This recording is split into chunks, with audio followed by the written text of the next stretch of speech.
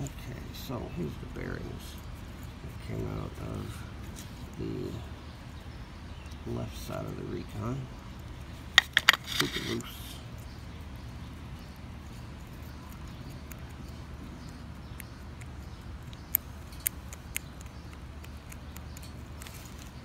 It's about what you'd expect.